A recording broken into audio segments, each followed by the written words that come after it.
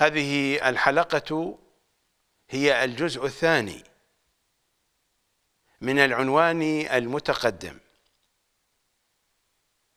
رسالة نسائية. قرأت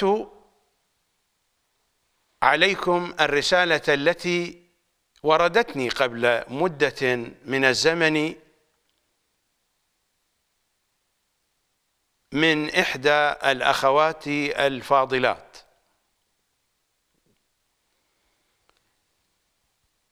لا أريد أن أعيد الكلام الذي ذكرته في الحلقة الماضية كي أنتفع من وقت هذه الحلقة.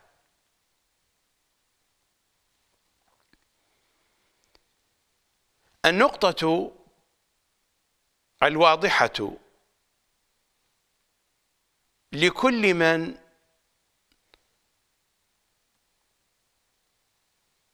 يقرأ الرسالة التي قرأتها عليكم وهي مشحونة بالأحاديث والروايات المنقولة عن كتبنا الحديثية الأصلية المعروفة. الواضح والواضح جدا هناك انتقاص للمرأة. هناك توهين للمرأة. هناك ظلم للمرأة. بل هناك تعذيب. حينما كان الحديث عن الجوع والعري هذا مر علينا.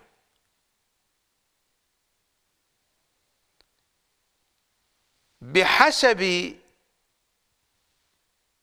منهج السقيفتين وإنني أسلط النظر بشكل أخص على سقيفة بني طوسي على حوزة النجف. بحسب منهجها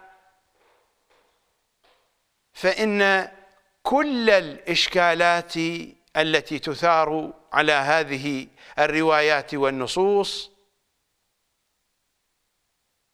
ثابتة ولا يستطيعون الفرار منها إلا بالضحك على أنفسهم والضحك على الآخرين من خلال الرجوع إلى الأسانيد وتضعيفها. وهذه ألعوبة هذه ألعوبة.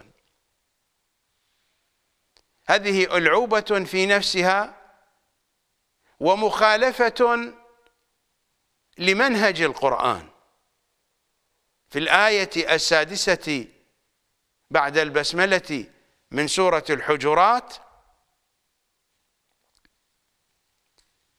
يا أيها الذين آمنوا إن جاءكم فاسق بنبأ فتبينوا. هذا هو منهج القرآن. لا علاقة للقرآن بالأسانيد. القرآن يوجهنا إلى المتون. فحينما يذهبون إلى الأسانيد إنهم يخالفون منهج الله. هم يتبعون منهج البخاري منهج سقيفة بني ساعدة في البحث عن الأسانيد. لا شأن لنا بهم. بحسب منهج الله فإن الإشكالات ستكون ثابتة ولا يستطيعون أن يتخلصوا منها. لماذا؟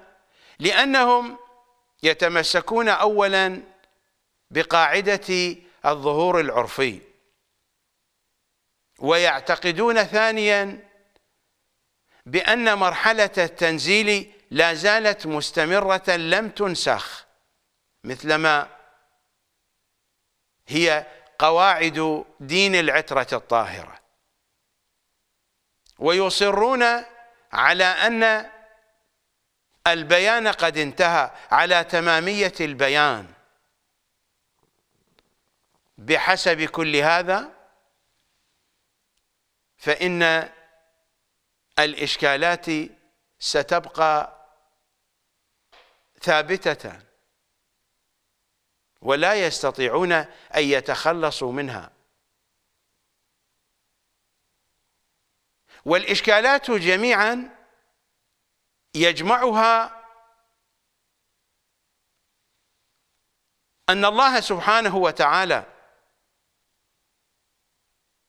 خلق المرأة كاملة أم خلقها ناقصة؟ ومرادي من الكمال هنا الكمال النسبي. فكل مخلوق فيه جهة كمال وفيه جهة نقص. فيه جهة نقص من حيث هو مخلوق. ومن حيث رتبته بين المخلوقات.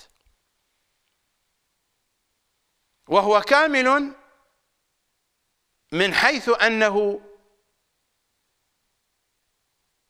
قد خلق بنحو كامل بما يناسبه. الله سبحانه وتعالى خلق الرجال كاملين وخلق النساء كاملات. الرجال بحسبهم النساء كذلك بحسب منزلتهن وأنا هنا لا أفرق بين كمال الرجال وكمال النساء لأن الله خلق الإنسان بمستوى واحد والإنسان عنوان للرجل والمرأة.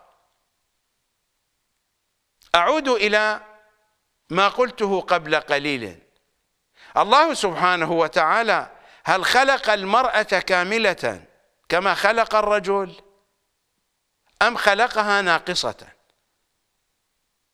نحن لا نعترض على الله إذا كان قد خلق المرأة ناقصة. لكن القرآن لا يقول بهذا.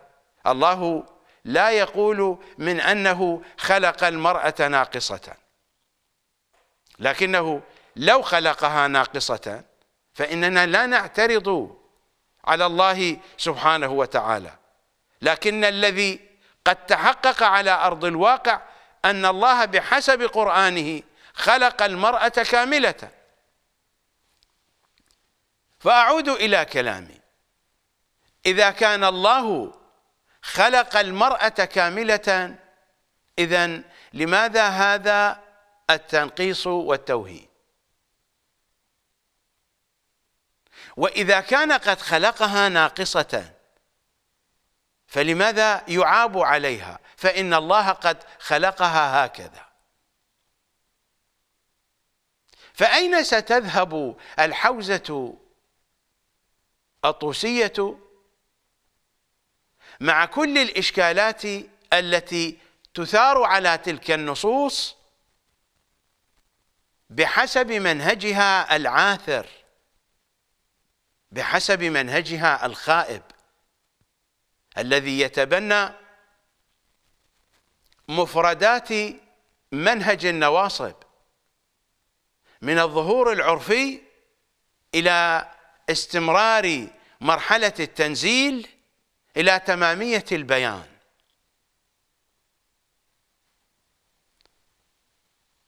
في منهج العترة الطاهرة فإن الأمر مختلف جدا. فهناك المعاريض.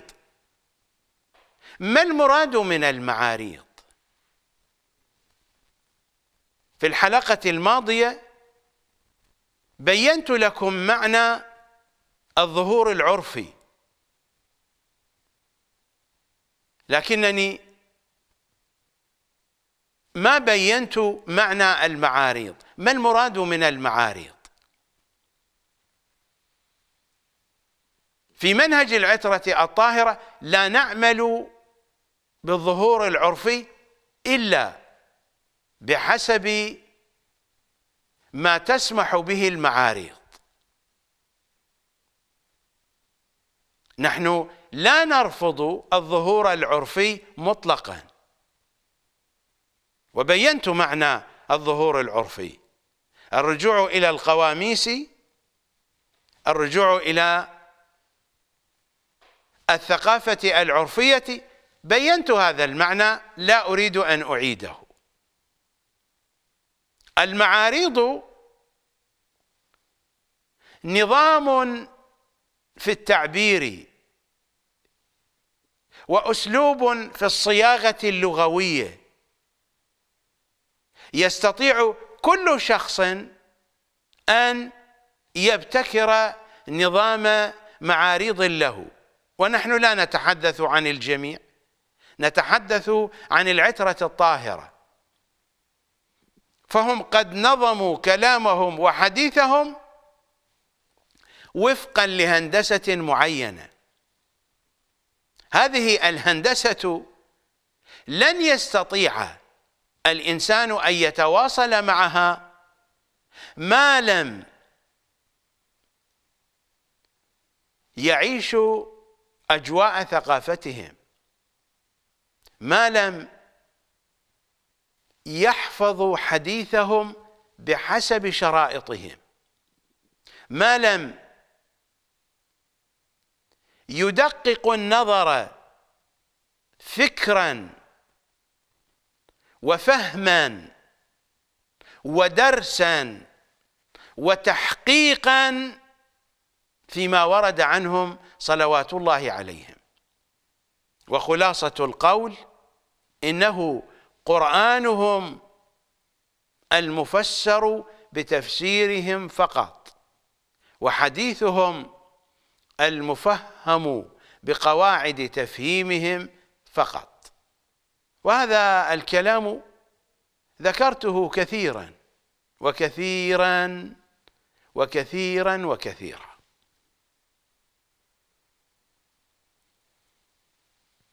الأئمة يتحدثون وفقا لهذه الهندسة التي حدثونا عن خصائصها وبينوا لنا أسرارها. وهذا الموضوع حدثتكم عنه كثيرا في طوايا برامجي المنتشرة على الشبكة العنكبوتية. أنا لا أريد أن أفصل القول في هذه المسألة فإن الكلام يطول في بيان معاني مفرداتها. في منهج العترة لا نعمل بالظهور العرفي إلا بحسب ما يسمح نظام المعاريض ونعتقد بأن مرحلة التنزيل قد نسخت ومن أننا في مرحلة التأويل التي بدأت منذ بيعة الغدير. ويترتب على هذا أن البيان يكون متحركا بالضبط مثلما يحدثنا أئمتنا عن قرآنهم. من أنه يجري مجرى الليل والنهار مجرى الشمس والقمر كذلك حديثهم. خصائص قرآنهم تتوفر في حديثهم. وهم الذين بينوا لنا هذه الحقيقة. من أن خصائص القرآن تتوفر في حديثهم. ولذا فإنهما لن يفترقا حتى يردا على رسول الله على الحوض.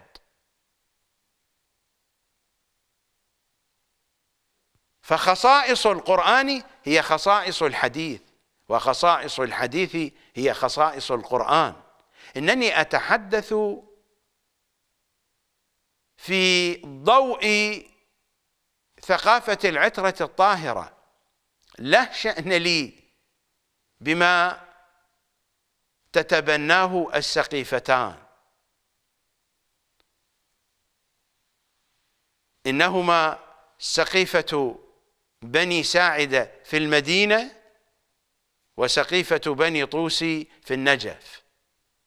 إنها سقيفة المرجعية والحوزة وما يجري على خشبة المسرح من قباحات أما ما يجري في الكواليس فهو الأقبح والأقبح والأقبح. وهذا الأمر يجري على الشيعة منذ أن أسس الطوسي المشؤوم حوزته المشؤومة في النجف سنة 448 للهجرة. باتفاق مع العباسيين حيث أسس مذهبه اللعين. دين العترة الطاهرة وضع جانبا. ونشر الطوسي والذين جاءوا من بعده المذهب الطوسي الضال. هذه المطالب تقدم الحديث بخصوصها. نبقى نحن وما يرتبط بموضوع الحلقة جهة مهمة لم أتمكن من ذكرها في الحلقة الماضية. لابد أن أتحدث عنها في هذه الحلقة. المتاهة الشيعية. بسبب المتاهة الشيعية فلم يتحقق فهم صحيح لآيات القرآن ولأحاديث العترة. الأحاديث التي قرأتها في الرسالة في الحلقة الماضية هذه أحاديث الأئمة. ربما نقل البعض منها بالمضمون ولكنها أحاديث الأئمة. بعضها جاء بلفظ الإمام وبعضها جاء بالمضمون الذي تحدث عنه الإمام. هذه أحاديث الأئمة. إنني لا أنكر منها حديثا واحدا. هذه أحاديث الأئمة. ويوجد عندنا في الأحاديث ما هو أشد في المضامين واقسى هذه أحاديث الأئمة. والشيعة عملوا بها. هذه حقيقة لا يمكن إنكارها. لكن الكلام هنا هل هذه الأحاديث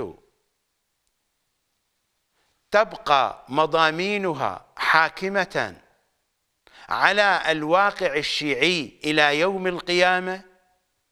الجواب كلا.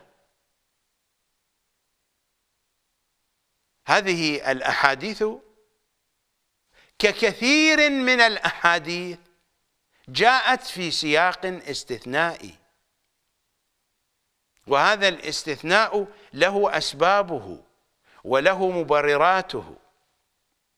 الذي يعترض الآن على مضامين هذه الأحاديث وهو محق محق. وأنا أيضا أعترض على مضامينها. إنما نعترض لأننا في زمان يختلف عن الزمان الذي نسجت تلك الأحاديث لأجله.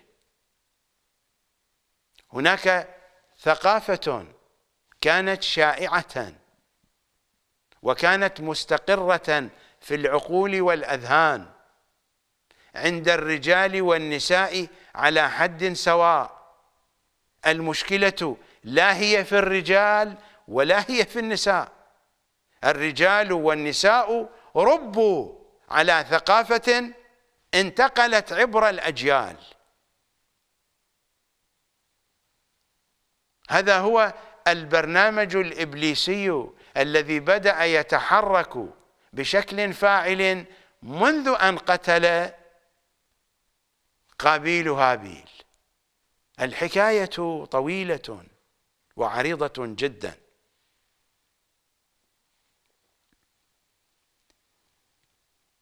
المتاهة الشيعية في أجواء المتاهة الشيعية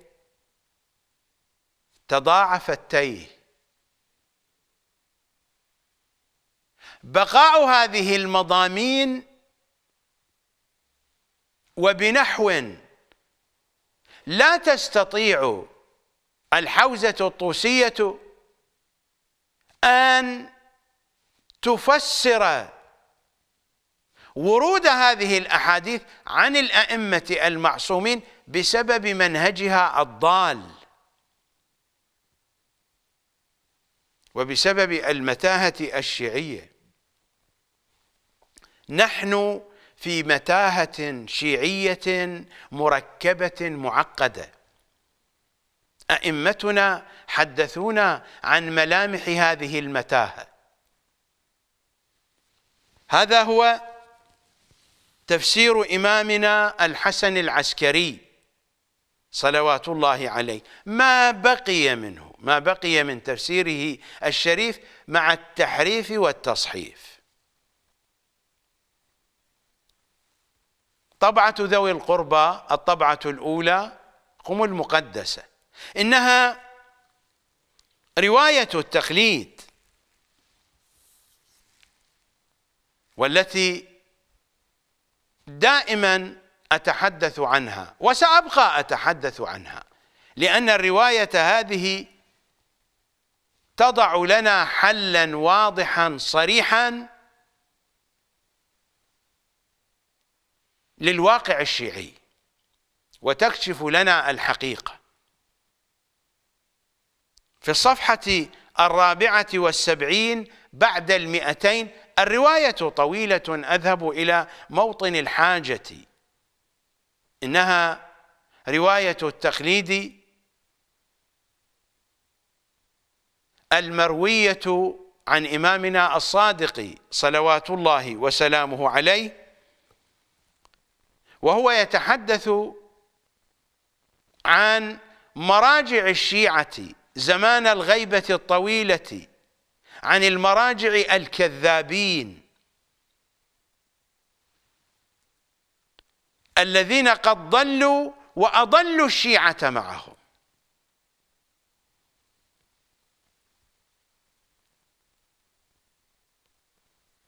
يتعلمون بعض علومنا الصحيحة. البعض تشير إلى القلة. وماذا يفعلون بعد ذلك؟ يضيفون إليه إلى هذا البعض أضعافه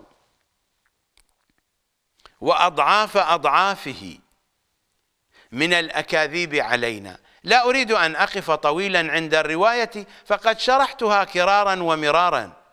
إذا أردنا أن نحول هذا الكلام إلى الأرقام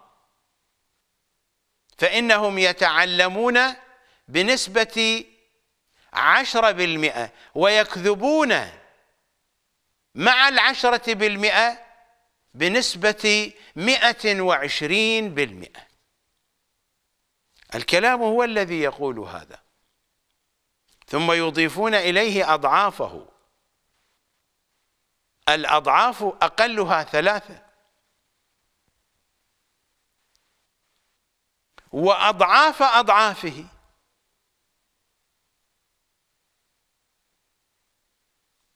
وكذلك يضيفون الأضعاف إلى الثلاثة. الأضعاف الأولى ثلاثة والأضعاف الثانية تسعة. إذا حولنا إلى النسبة المئوية فإن الأكاذيب ستكون بنسبة مئة وعشرين بالمئة إلى عشرة بالمئة. ماذا يبقى من الصدق؟ ماذا يبقى من الحقيقة؟ ثم يضيفون إليه أضعافه وأضعاف أضعافه من الأكاذيب علينا التي نحن براء منها فيتقبله المستسلمون من شيعتنا.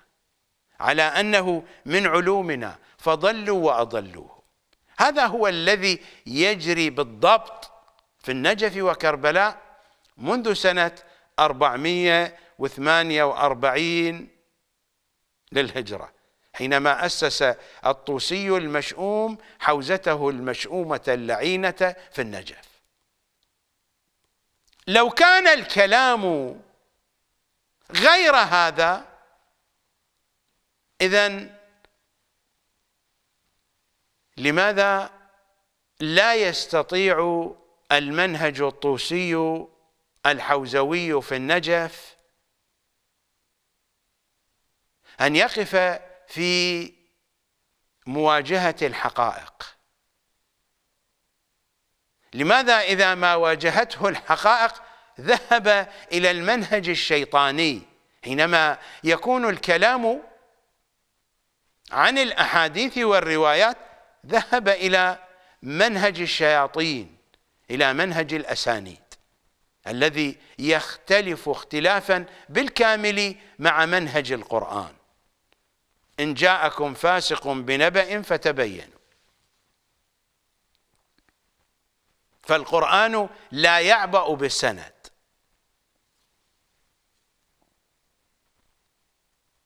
إنما يعبأ بالمتن والكلام واضح.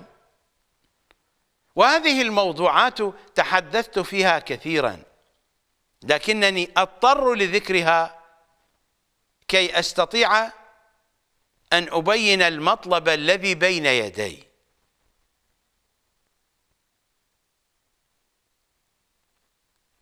فيتقبله المستسلمون من شيعتنا. هؤلاء استسلموا للمراجع الضالين. وهذا هو حال الشيعة في أيامنا هذه وفي الأيام الماضية وفي الأيام القادمة. هذا هو حالهم. بالضبط مثلما يتحدث عن هذه الحقيقة كمال الحيدري في الوثيقة الديخية. أتحفونا بها رجاء. ما أريد أجيب الأسماء. واحد قال لي على شنو مستعجل؟ على شنو مستعجل؟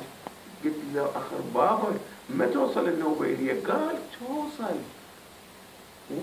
اطمئنا تركبهم. يعني الشيعة تركبهم وتقول لهم ديخ. والله نفس عبارته واحد من الأعلام قبل خمس سنوات. قال لي مش أقول لك تركب يعني خلاقة أغميشني خلاقة أغميشني شي ميجي بقول لك مكان حركة فقش ديخ عربية فقش والنص عبارة كنا على تقوى كلكم تعرفونه لأنه ما بدي أجيب الأسماء عرفنا قال تركب مثل ما ركب فلان وقال ديخ لا مو علم إجمالي هذا واقع واقع الشيعة. لا أقول واقع الشيعة هذا والله هذا واقع الشيعة.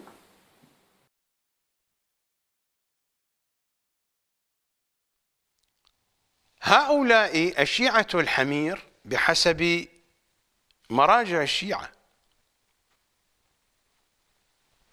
هؤلاء الشيعة الحمير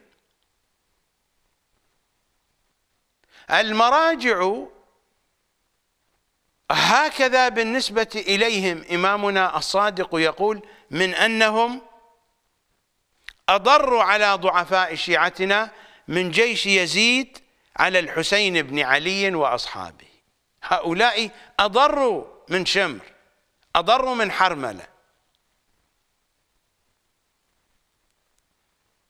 ولكن الشيعة الحمير يعتقدون أن الهداية وأن الدين وأن العلم عند هؤلاء.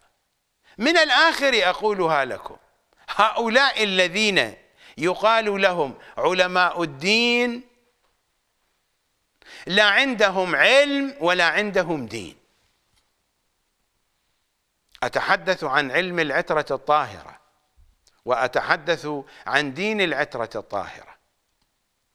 الذين يقال لهم علماء الدين يفتقرون إلى العلم ويفتقرون إلى الدين. يفتقرون إلى علم العترة الطاهرة ويفتقرون إلى دين العترة الطاهرة.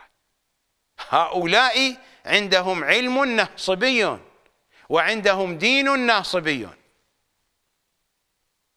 ولذا فإن إمامنا الصادق هكذا يقول وهؤلاء علماء السوء الناصبون لأن علمهم ناصبي ولأن دينهم ناصبي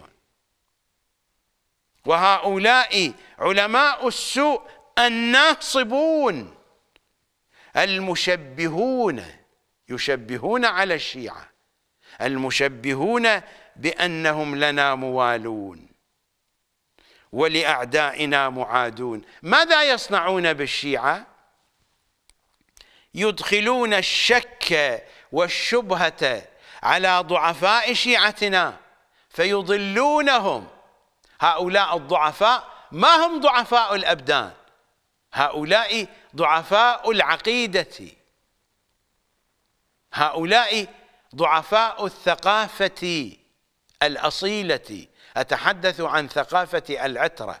هؤلاء ضعفاء العقول لأنهم سلموا واستسلموا وجعلوا عقولهم مدفونة تحت ركام الثقافة الناصبية. تلك الثقافة التي شحنها مراجع النجف في العقل الشيعي. وهؤلاء علماء السوء الناصبون من المرجع الأعلى إلى المرجع الأسفل. لا يوجد استثناء لأن الجميع على منهج واحد. لا نستطيع أن نستثني أحدا منهم. وهؤلاء علماء السوء الناصبون المشبهون بأنهم لنا موالون. ولأعدائنا معادون يدخلون الشك والشبهة على ضعفاء شيعتنا فيضلونهم ويمنعونهم عن قصد الحق المصيب. هذه جهة من جهات المتاهة الشيعية وجهة ثانية يحدثنا عنها الكليني في الكافي في الجزء الأول. إنها طبعة دار الأسوة. طهران إيران في الصفحة الثمانين بعد الثلاثمائة. إنه الحديث الحادي عشر بسنده بسند الكليني عن مفضل بن عمر عن إمامنا الصادق صلوات الله وسلامه عليه. الإمام يقول يحدث المفضل بن عمر والمفضل كوفي عراقي. ولترفعن اثنتا عشرة راية مشتبهة. لا يدرى أي من أي. هذه الجهة الثانية. منذ أيام المعارضة وهذا المعنى نحن نعيشه. أنا لا أريد أن أحدثكم عن مذكراتي لكنني أتحدث هذا لأجل أن أقرب لكم الفكرة. إنني في أجواء المعارضة السياسية منذ صغري. منذ سنة 1976 ميلادي. أعرف أسرارها وتفاصيلها بالكامل. منذ سنة 1976 وأنا فرد من أفراد المعارضة الدينية الشيعية السياسية في العراق.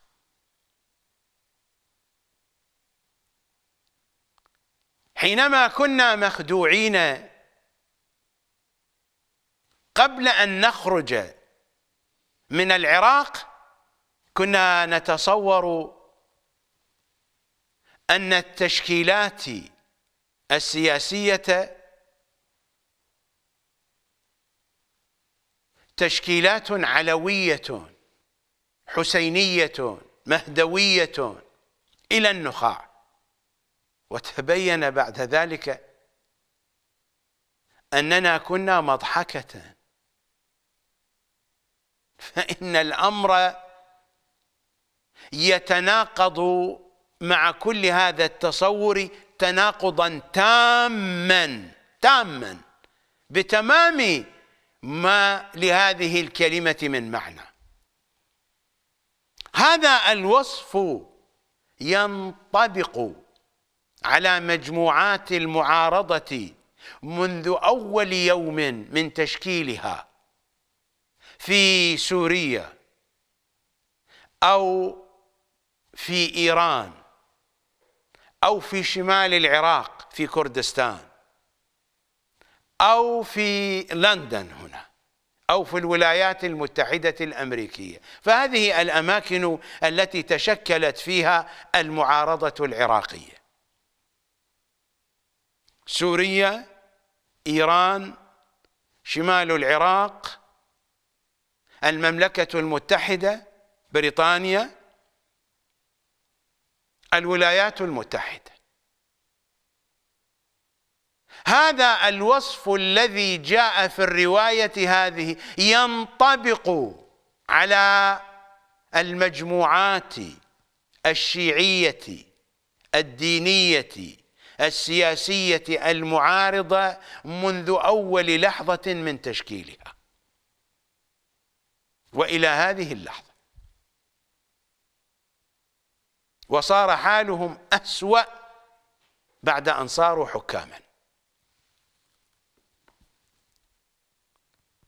ولترفعن اثنتا عشرة راية مشتبهة. هذه الرايات المشتبهة ترتبط بهؤلاء المراجع الذين وصفهم الإمام الصادق وهؤلاء علماء السوء الناصبون المشبهون بأنهم لنا موالون ولأعدائنا معادون. هذه الرايات هي هذه. المضامين التي تتحدث عنها رواية التقليد.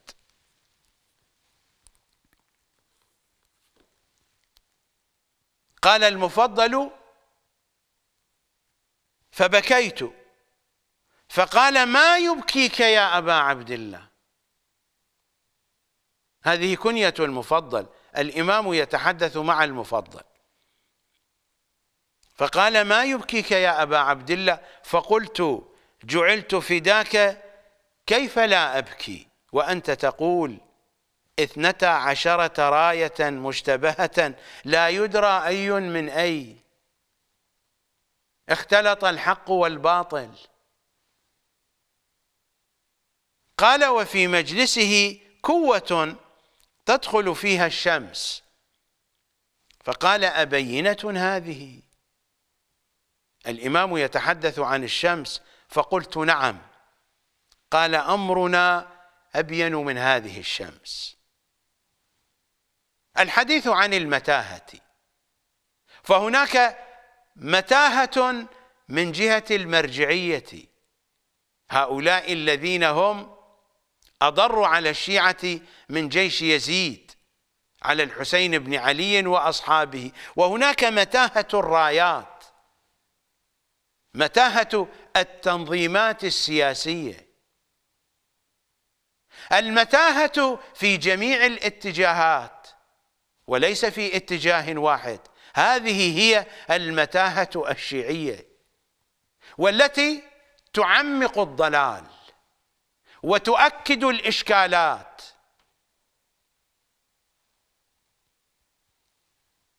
أتعلمون أن هذا سيدفع الكثير من المثقفين ومن الأكاديميين في قادم الأيام إلى اعتناق دين الجندر لأنهم يجدون أن الجندر ينصف المرأة بينما دين النجف يلحق ما يلحق بها من التوهين والتنقيص. وسبب في المنهج الضال الذي هم عليه. لا يضحكون عليكم بكلام إنشائي. نحن نتحدث عن نصوص. نتحدث عن معطيات ووثائق. هذا الأمر يمكن أن يضحك به على الديخيين أما على الأكاديميين الذين يريدون أن يعرفوا الحقيقة لا يستطيعون في النجف أن يضحكوا عليهم إن كانوا من الرجال أو كانوا من النساء. نذهب إلى فاصل. هذه المتاهة هي المتاهة التي تحدث عنها أمير المؤمنين في خطبة خطبها في المدينة المنورة بعد فتن السقيفة وما جرى من الصحابة الضالين. هذا هو الجزء الثامن. من الكافي الشريف للكليني. المتوفى سنة 328 للهجرة. وهذه طبعة دار التعارف للمطبوعات في الصفحة السابعة والخمسين. إنه الحديث الثاني والعشرون. هذه الخطبة تبدأ من هنا. موطن الحاجة في الصفحة التاسعة والخمسين. ماذا يقول أمير المؤمنين في خطبته؟ وهو يتحدث مع الشيعة. ولعمري ولعمري ليضاعفن عليكم التيه من بعدي أضعاف ما تاهت بنو إسرائيل.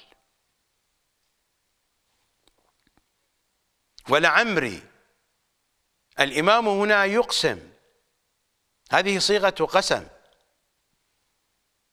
ولعمري ليضاعفن وهذه لام التأكيد.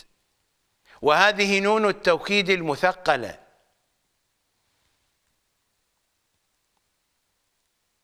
ليضاعفن عليكم التيه من بعد أضعاف. وهذا مفعول مطلق من نفس لفظ الفعل لتأكيد المعنى. لقد حشد أمير المؤمنين في كلامه هذا كل ما يمكن أن يحشد من توكيد في الكلام. ولعمري هذا قسم والقسم للتوكيد فإن أمير المؤمنين لا يحتاج إلى القسم لإثبات صدقه. فنحن لا نكذب أمير المؤمنين. حينما يقسم أمير المؤمنين إنه يؤكد الكلام يشعرنا بأن الكلام مؤكد. ولعمري ليضاعفن هذه لام التوكيد.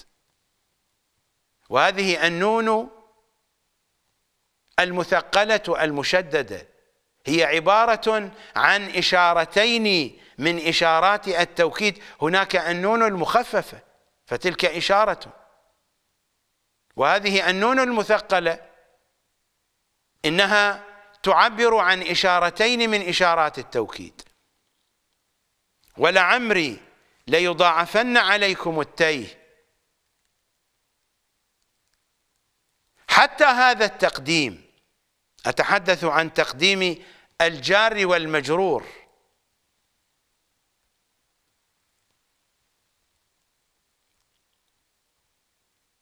التيه في أصلها مفعول به وهنا جاءت نائب فاعل حينما قدم الجار والمجرور على نائب الفاعل الذي هو في الأصل مفعول به. فهذا يشير إلى تأكيد المعنى وتعميقه أكثر. هذا نوع من التخصيص وهو تأكيد. ولعمري ليضاعفن عليكم التيه من بعد أضعاف ما تاهت بنو إسرائيل.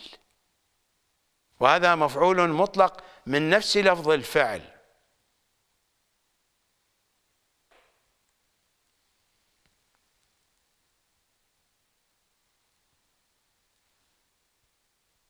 ليضاعفن عليكم التيه من بعد أضعاف ما تاهت. بنو إسرائيل.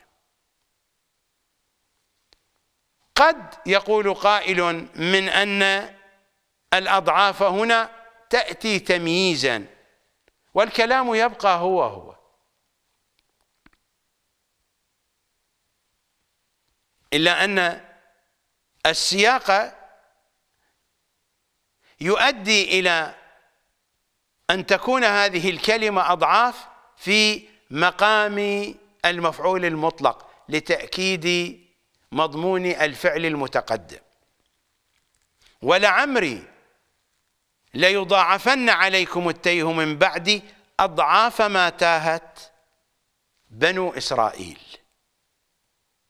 هذا هو التيه الذي حدثنا عنه إمامنا الصادق في رواية التقليد إنه التيه بسبب مراجع التقليد. وهو هو التيه الذي بكى بسببه المفضل بن عمر بسبب الرايات التي لا يدرى أي من أي اختلط حقها بباطلها. الكلام لا يقف عند هذه النقطة الغيبة للنعماني. المتوفى سنة 360 للهجرة. وهذه طبعة أنوار الهدى الطبعة الأولى قم المقدسة في الصفحة السادسة والثلاثين بعد الثلاثمائة. إنه الحديث الأول بسنده. بسند النعماني عن إمامنا الباقر صلوات الله وسلامه عليه.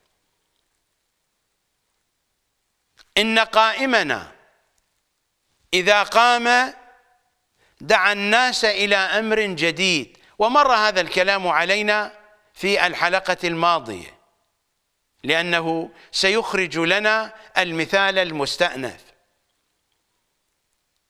إن قائمنا إذا قام دعا الناس إلى أمر جديد كما دعا إليه رسول الله صلى الله عليه وآله وإن الإسلام بدأ غريبا وسيعود غريبا كما بدأ فطوبى للغرباء. متى تتركز غربة الإسلام؟ تتركز غربة الإسلام في غيبة الإمام. وتتركز في الغيبة الطويلة بنحو أشد مما كانت عليه الأوضاع زمان الغيبة القصيرة. فزمان الغيبة الطويلة هو زمان غربة الإسلام. وإن الإسلام بدأ غريبا وسيعود غريبا كما بدأ فطوبى للغرباء. هذا الإسلام غريب من جعله غريبا؟ السقيفتان. سقيفة بني ساعدة وسقيفة بني طوسي. هاتان السقيفتان نفتا الإسلام إلى مكان بعيد.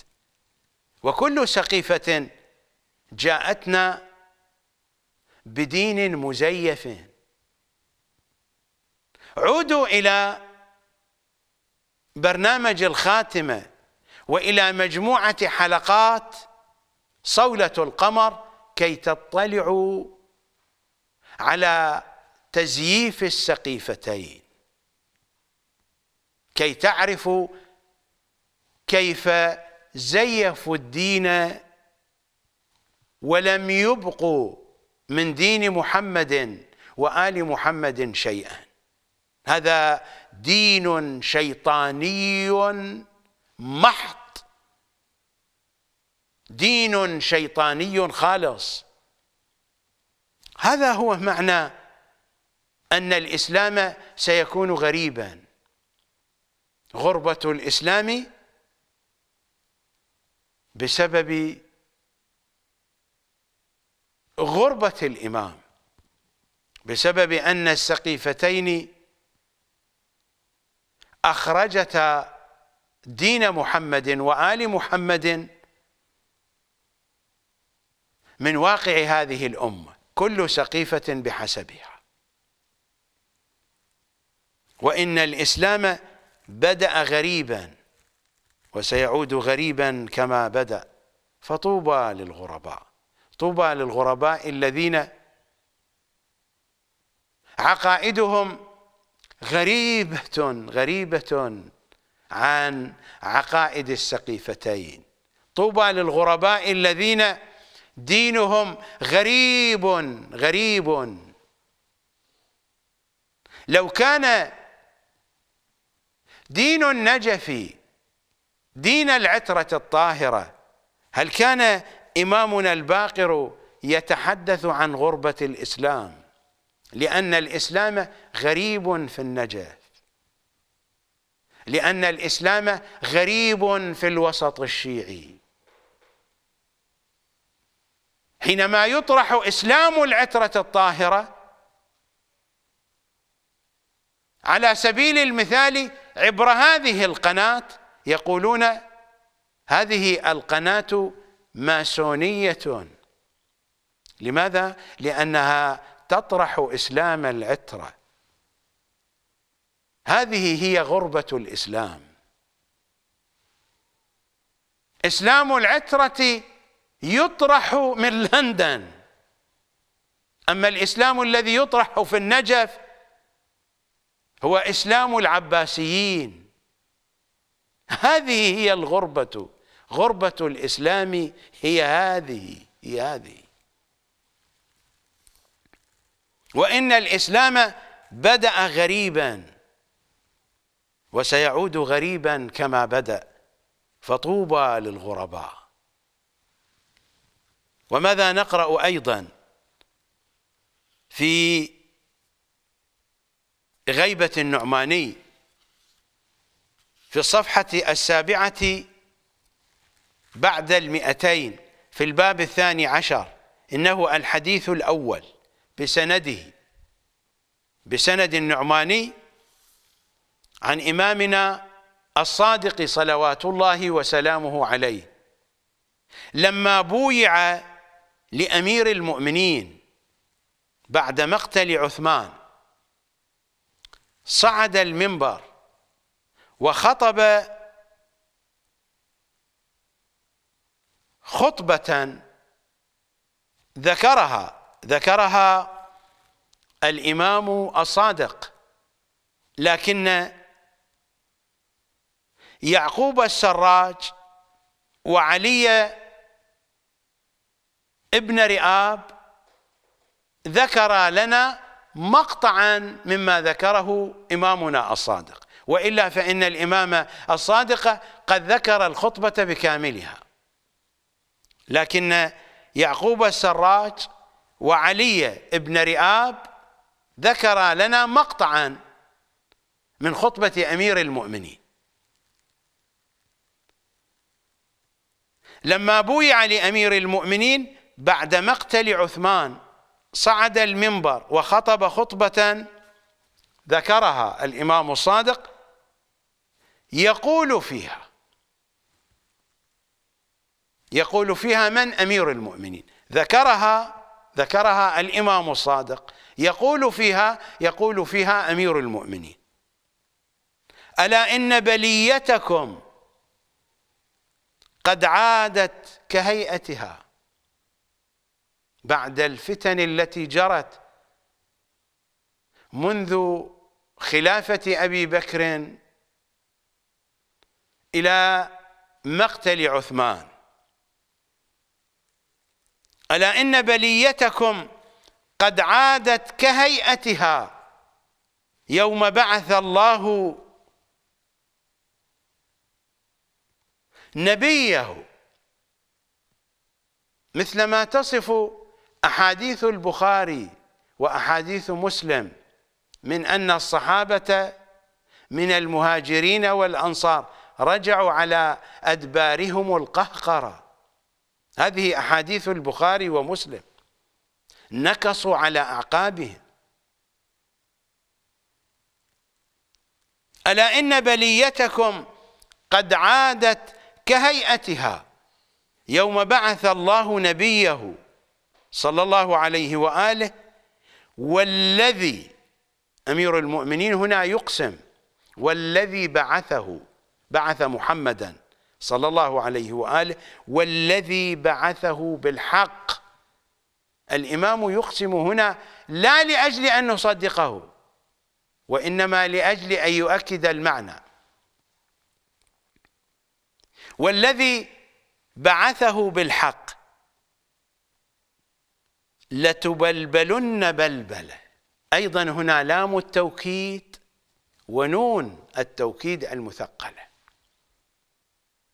مثل ما مر علينا في خطبته التي قرأت ما قرأت عليكم منها من الجزء الثامن من الكافي الشريف. والذي بعثه بالحق لتبلبلن بلبله ولتغربلن غربله أيضا لام التوكيد مع نون التوكيد المثقله حتى يعود أسفلكم أعلاكم وأعلاكم أسفلكم. ولا يسبقن سابقون.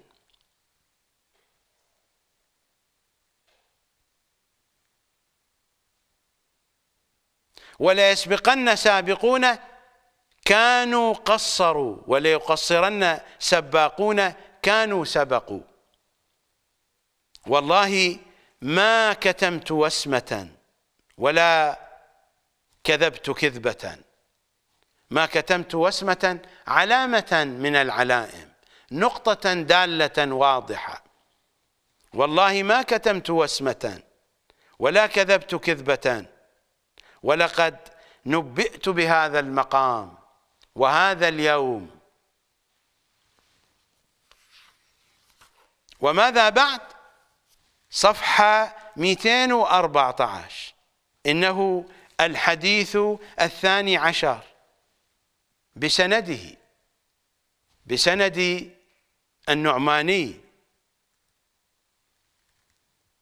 عن إمامنا الباقري صلوات الله وسلامه عليه. لتمحصن يا شيعة آل محمد تمحيص الكحل في العين. ما المراد من تمحيص الكحل في العين؟ حينما يكحل الإنسان عينه أكان رجلا أم كانت امرأة؟ حينما يكحل الإنسان عينه فإن الكحل سيذهب شيئا فشيئا سيزول. من عند نفسه أو بسبب الهواء بسبب حرارة الجو بسبب يد الإنسان حينما يفرك عينه مثلا وهكذا. فالإنسان حينما يضع الكحل سيزول شيئا فشيئا. هذا هو الذي يقصده إمامنا الباقر. لتمحصن يا شيعة آل محمد تمحيص الكحل في العين. وإن صاحب العين يدري متى يقع الكحل في عينه لأنه هو الذي يضع الكحل في عينه. ولا يعلم متى يخرج منها. وكذلك يصبح الرجل من الشيعة على شريعة من أمرنا ويمسي وقد خرج منها. ويمسي على شريعة من أمرنا ويصبح وقد خرج منها. وكذلك يصبح الرجل على شريعة من أمرنا ويمسي وقد خرج منها. ويمسي على شريعة من أمرنا ويصبح وقد خرج منها. المشكلة هنا.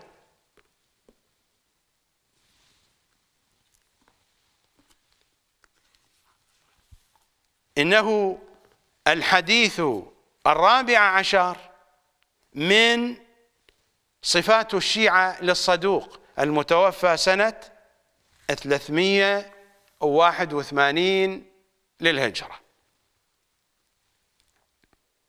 بسنده بسند الصدوق عن أحمد ابن محمد الخزاز قال سمعت الرضا إنه إمامنا الثامن في سلسلة الأئمة الاثني عشر. صلوات الله عليهم.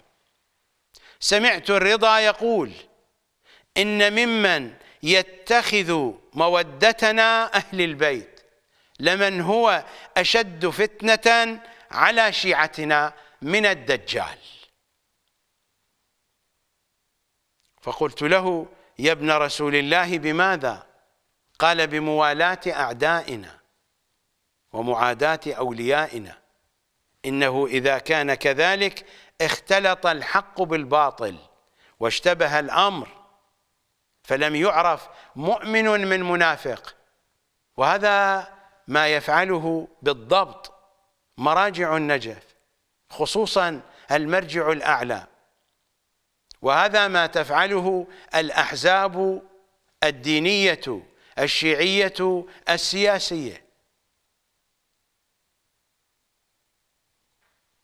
الأحاديث التي مرت علينا تحدثنا عن مراجع الضلال الذين هم أضروا على الشيعة. من جيش يزيد على الحسين بن علي وأصحابه أو عن الرايات المشتبهة التي لا يدرى أي من أي. هؤلاء هم الذين ينطبق عليهم هذا الحديث تمام الانطباق. الواقع الذي نعيشه أدل دليل على هذا الذي تتحدث الأحاديث عنه.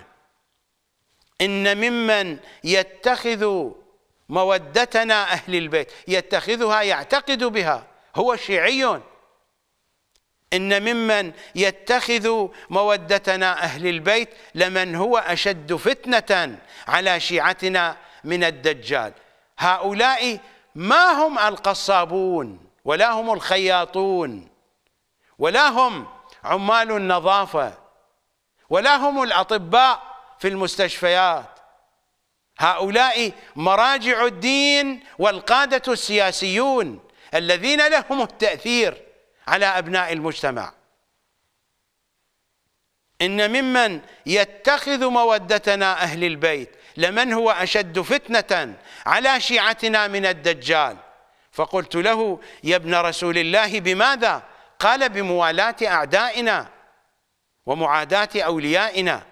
إنه إذا كان كذلك اختلط الحق بالباطل واشتبه الأمر فلم يعرف مؤمن من منافق. هذا المضمون هو هو الذي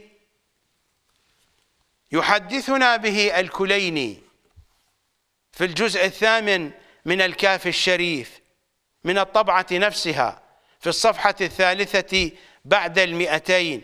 إنه الحديث الثاني والستون بعد الثلاثمائة.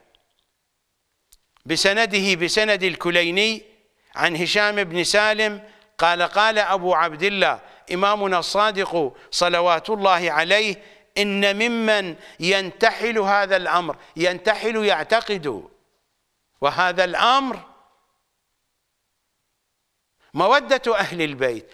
إن ممن ينتحل هذا الأمر ليكذب وهذه لام التوكيد أيضا ليكذب حتى إن الشيطان ليحتاج إلى كذبه. إنهم هؤلاء المراجع الذين يكذبون بدرجة مئة وعشرين بالمئة يضيفونها إلى عشرة بالمئة من الصدق. فهل يبقى شيء من الصدق؟ فإن الشيطان لا يحتاج إلى أكاذيب المقاولين. وإذا احتاج إليها فإنها حاجة على الحاشية. الشيطان يحتاج إلى أكاذيب المراجع إلى أكاذيب علماء الدين الذين لا عندهم علم ولا عندهم دين عندهم أكاذيب. إن ممن ينتحل هذا الأمر ليكذب حتى إن الشيطان ليحتاج إلى كذبه. هذه هي المتاهة الشيعية. في متاهة مظلمة كهذه. لن تتضح الحقائق. لن تتضح الحقائق. وحينئذ فإن الذين يطلبون الحقائق في هذه المتاهة لن يصلوا إلى شيء. ولذا سيعودون أدراجهم. كي يقعوا في فخاخ الشيطان. وفي مصائد النواصب. كي يقعوا في شباك ثقافة الجندر وغير الجندر هذا هو الذي يجري على أرض الواقع. إنها المتاهة الشيعية التي لا نعرف أولها من آخرها. هذه المتاهة التي سببها لنا المذهب الطوسي اللعين. مراجع النجف وكربلاء. بسبب هذا المذهب الضال وضعوا الشيعة في متاهة لا يعرفون أولها من آخرها. نذهب إلى فاصل. صار واضحا ما قصدته من ذكري للمتاهة الشيعية. وكيف أن المتاهة الشيعية ستضيع الحقائق بسببها. وهذا هو الذي جرى على الشيعة في سالف الأيام ولا زال يجري إلى هذه اللحظة.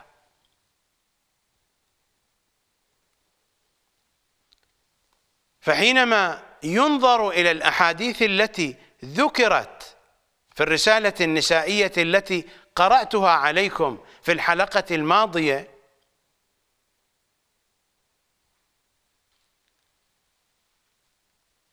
لن يستطيعوا لن يستطيعوا أن يتعاملوا بشكل صحيح مع هذه الأحاديث.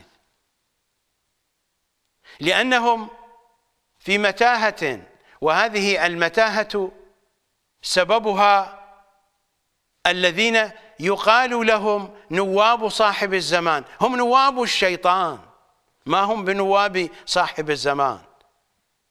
الدليل منهجهم الضال. الدليل عجزهم عن فهم حقائق دين العترة. الدليل هروبهم من مواجهة الإشكالات الواضحة والصريحة في تلكم الأحاديث. فحينما يتركز الظلم في المجتمع على النساء وهو واقع فعلا.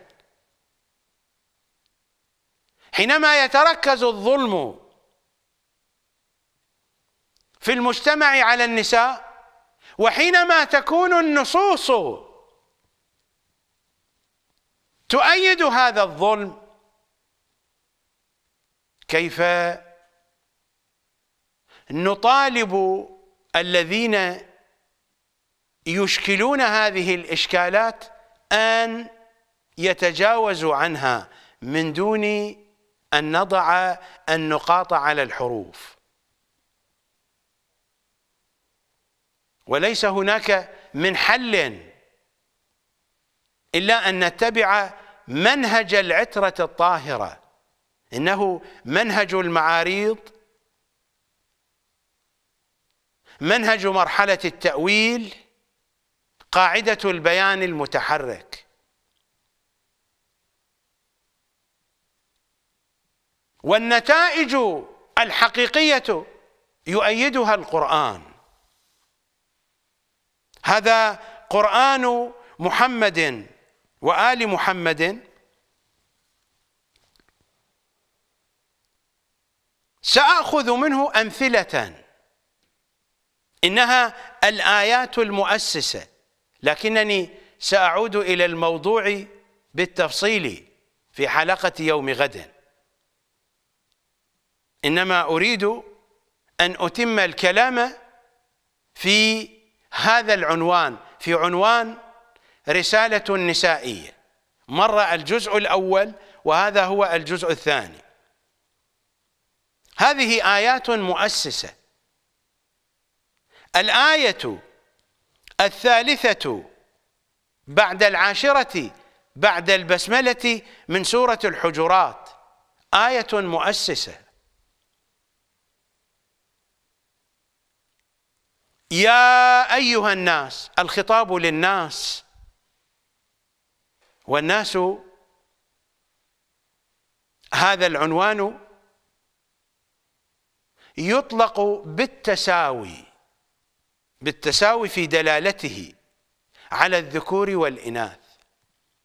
فحينما يأتي الخطاب يا أيها الناس لا يقصد من الخطاب هذا الرجال لوحدهم ولا يقصد من هذا الخطاب النساء لوحدهن.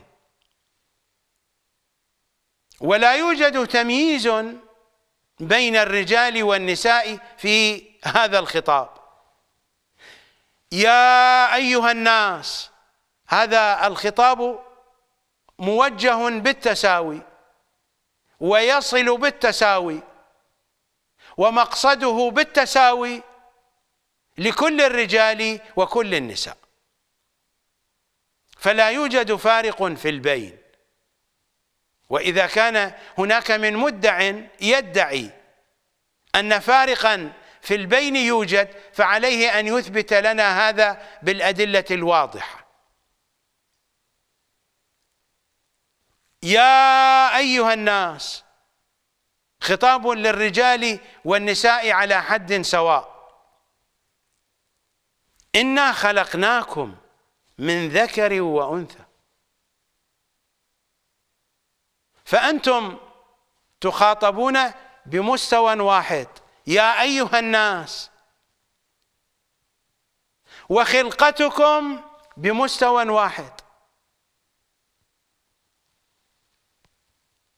يا أيها الناس إنا خلقناكم من ذكر وأنثى فأنتم بمستوى واحد.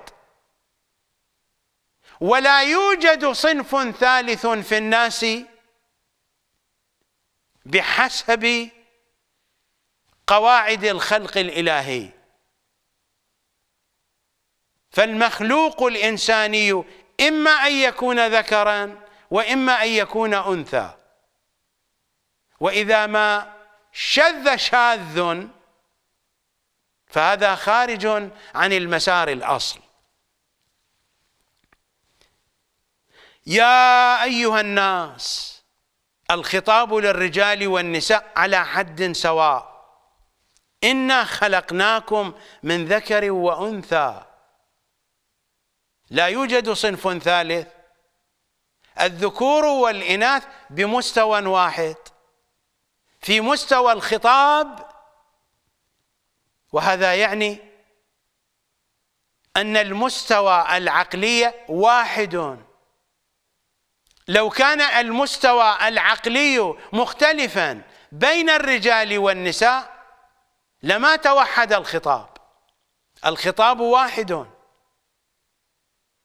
موجه إلى جهة واحدة. العقل الذي يخاطب بمنزلة واحدة. إن كان عقلا ذكوريا أو كان عقلا انثويا. الآية هي التي تتحدث عن نفسها بنفسها. يا أيها الناس إنا خلقناكم من ذكر وأنثى. خلقناكم أهم نقطة في الخلق العقل. وهذا ما بينته سورة المؤمنون. إذا أردنا أن نقرأ من الآية الثانية بعد العاشرة بعد البسملة وما بعدها من الآيات حكاية خلق الإنسان. الإنسان الكلام هنا عن الإنسان وليس عن الرجال أو عن النساء. الإنسان عنوان للرجال والنساء على حد سواء. وهناك من يقول من أن الإنسان مثنى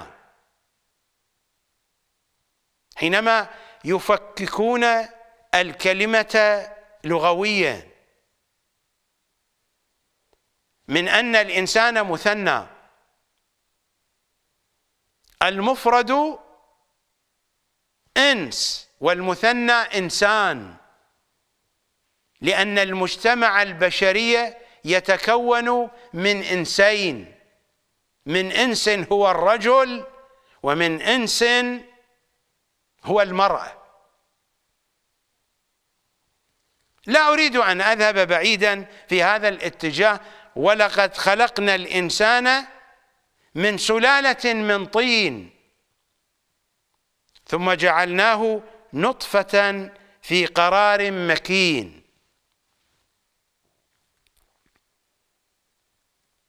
هذه النطفة التي يتكون منها الذكر أو تتكون منها الأنثى هي هي تكوينا وخلقا وخصائصا ومنزلة هي هي. ولقد خلقنا الإنسان من سلالة من طين. ثم جعلناه نطفة في قرار مكين. ثم خلقنا النطفة علقة. العلقة هي قطعة الدم المتجمده الدم المتجمد الدم المتخثر. ثم خلقنا النطفة علقة. فخلقنا العلقة مضغة. إنها قطعة لحم. فخلقنا المضغة عظاما. فكسونا العظام لحما. إلى هذه النقطة مسيرة خلق الحيوانات ومسيرة خلق الإنسان واحدة. الحيوانات هكذا تخلق.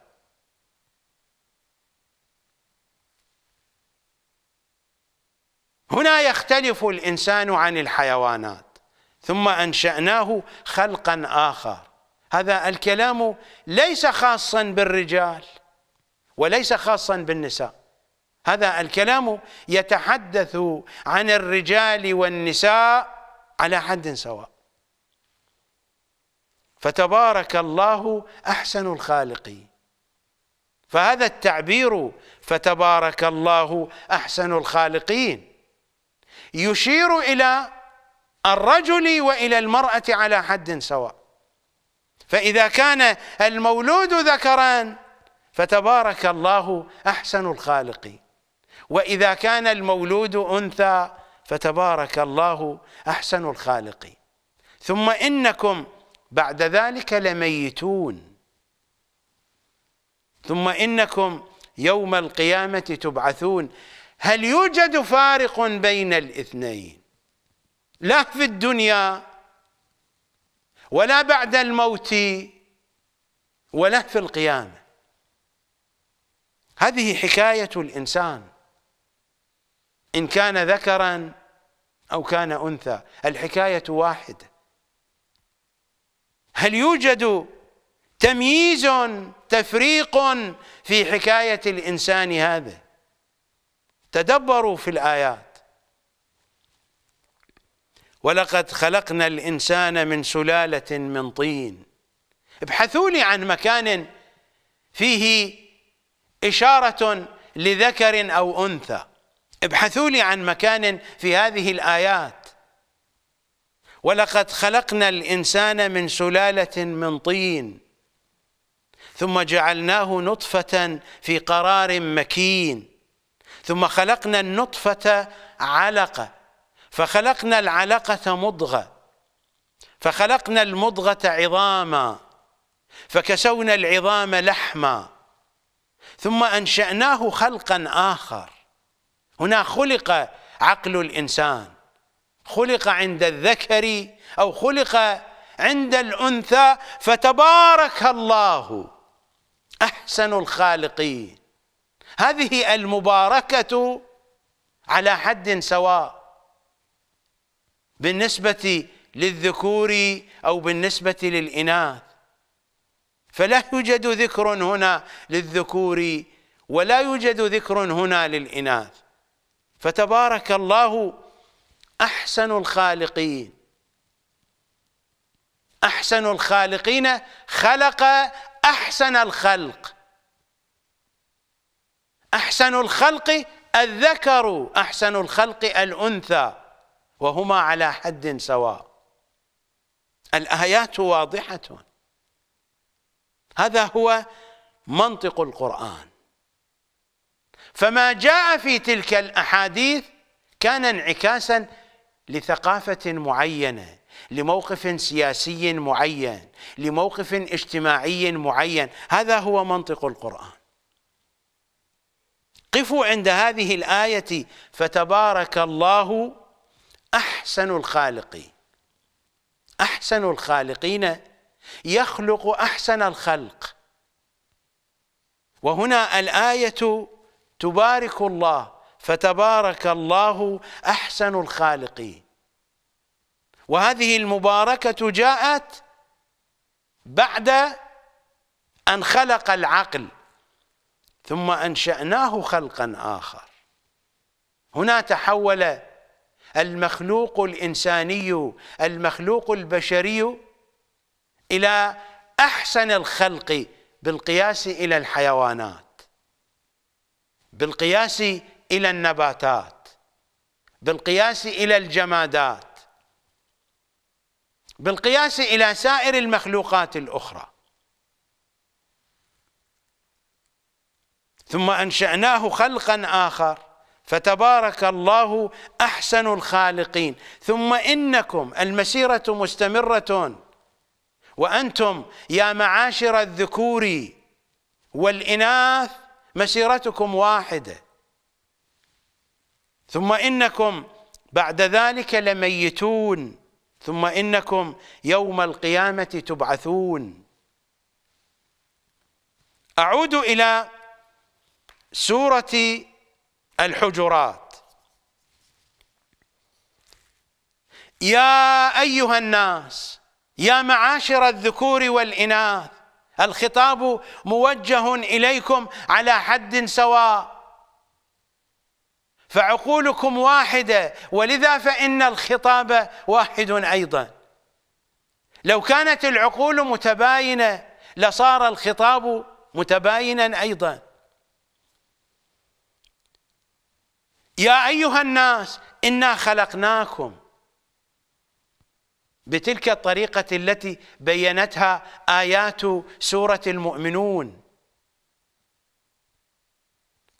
إنا خلقناكم أحسن الخلق فتبارك الله أحسن الخالقين. ماذا خلق أحسن الخالقين؟ إنا خلقناكم من ذكر وأنثى. على حد سواء. وجعلناكم شعوبا وقبائل لتعارفوا. هذا التعارف ليس خاصا بالذكور وليس خاصا بالإناث وإنما يكون التعارف حينما تكون الحقوق واحدة وحينما تكون الواجبات واحدة. هناك تساون. قد تختلف أشكال الوظائف. هذا شيء آخر. المرأة التي خلقت لأن تحمل في رحمها الجنين وظيفتها مع هذا الحال تختلف عن وظيفة الرجل الذي لم يخلق. بهذه الهيئة. خلق بهيئة معينة. وهي خلقت بهيئة معينة. تختلف الوظائف بسبب اختلاف الهيئات والقابليات والمواهب والإمكانات. لا يوجد فارق في العقل ولا يوجد فارق في الخلق.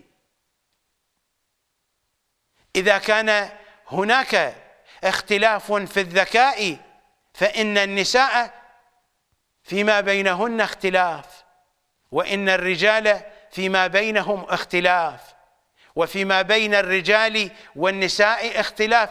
قد تكون المرأة أذكى من الرجال ومن النساء وقد يكون الرجل أذكى من الرجال ومن النساء. تقسيم الأرزاق. هذا أمر عائد إلى حكمة الله. إنما الحديث في هذه الآيات عن أصل الخلقة ومنزلتها وشؤونها. يا أيها الناس إنا خلقناكم من ذكر وأنثى وجعلناكم شعوبا وقبائل. لا يوجد تمييز في الآية بين الذكور والإناث في الشعوب والقبائل. لماذا؟ لتعارفوا. هذا التعارف لن يكون واحدا لن يكون متساويا ما لم تكن. الحقوق متساويه ما لم تكن. الواجبات متساويه وإلا لن يتحقق معنى التعارف. لتعارفوا يكون التعارف بمستوى واحد. فهذا التعبير لا يشير إلى أن التعارف يكون بعدة مستويات. هناك المستويات العالية وهناك المستويات السافلة. الدليل الآية نفسها حينما تقول إن أكرمكم عند الله أتقاكم. إن أكرمكم عند الله أتقاكم. هذا الكلام ليس خاصا بالرجال وليس خاصا بالنساء. قد تكون المرأة أكرم عند الله من جميع كل الرجال والنساء. أو قد يكون الرجل أكرم عند الله من جميع كل الرجال والنساء. الآية لم تتحدث لا عن ذكور ولا عن إناث. إن أكرمكم عند الله أتقاكم. فقد يكون الأكرم ذكرا وقد يكون الأكرم أنثى. لأن الميزان لا علاقة له بالذكورية أو الأنوثة. الميزان يرتبط بالتقوى والتقوى مردها إلى المعرفة والمعرفة مردها إلى العقل والعقل واحد عند الطرفين. ولذا فإن الخطاب يوجه إلى الذكور والإناث بصيغة واحدة ولا يوجد تمييز في البين. ولا يستطيع أحد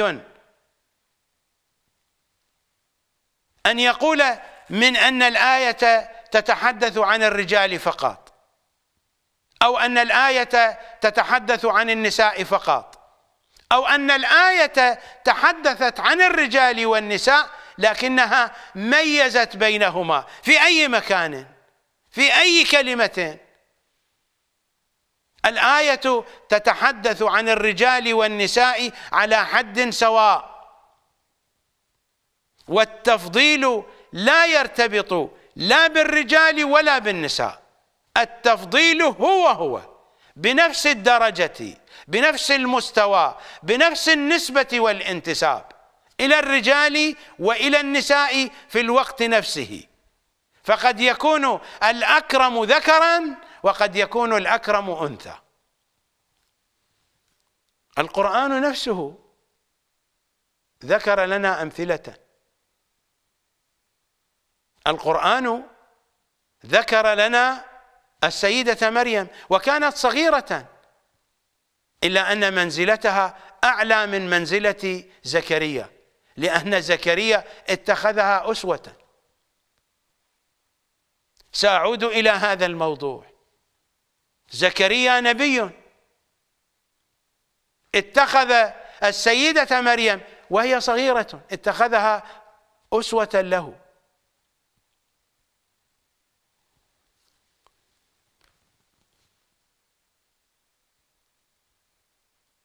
فلا يوجد تشخيص في الآية لصنف من أصناف البشر. الآية حددت أن البشر صنفان.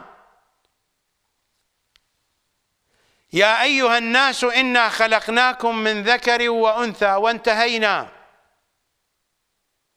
وجعلناكم شعوبا وقبائل لتعارفوا.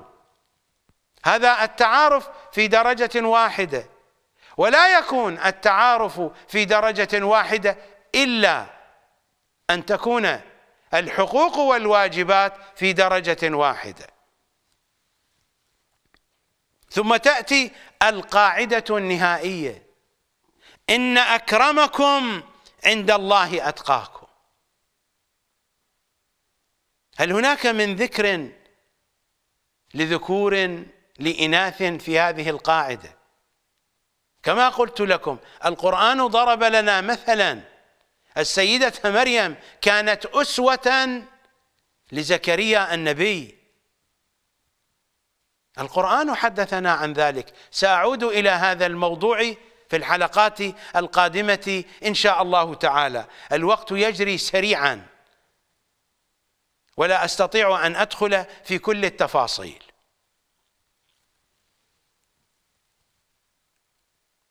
إن الله عليم خبير.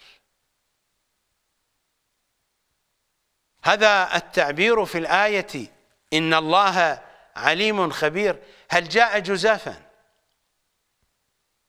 هل في القرآن شيء يأتي جزافا؟ إن الله عليم خبير. الحديث عن العلم هنا وليس عن العلم فقط وعن الخبرة أيضا. عليم خبير. فهذه الحقائق التي بينت في الآية مردها إلى علم الله مردها إلى العليم الخبير. هذا هو العلم بعينه. الآية تقول لنا من أنكم إذا أردتم العلم فإن العلم ها هنا.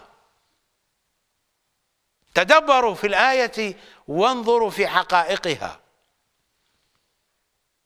يا أيها الناس يا أيها الذكور والإناث يا أيها الناس يا أيها الرجال والنساء على حد سواء إنا خلقناكم من ذكر وأنثى وجعلناكم شعوبا وقبائل لتعارفوا.